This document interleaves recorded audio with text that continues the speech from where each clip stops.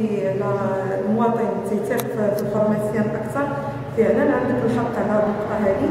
آه، حيتاش حنايا كنمشيو عند ال pharmacien بعض المرات كتمشي للطبيب كتلقاه عامر ولا فهمتي النوبه ولا لا privé ولا ديال الدولة. تنضطروا نمشيو عند الصيدلي. فعلا كينصحنا وكيوجهنا تيقول لنا شنو خصنا